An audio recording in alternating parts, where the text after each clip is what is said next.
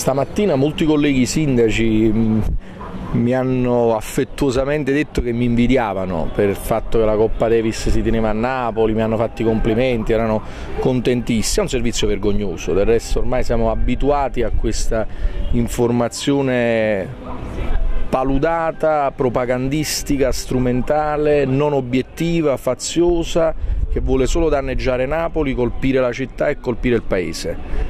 È una cosa che si commenta da sola, mi fa piacere che si scuota l'orgoglio dei napoletani e mi auguro che ci sia anche un giornalista al TG1, come si diceva c'è un giudice a Berlino.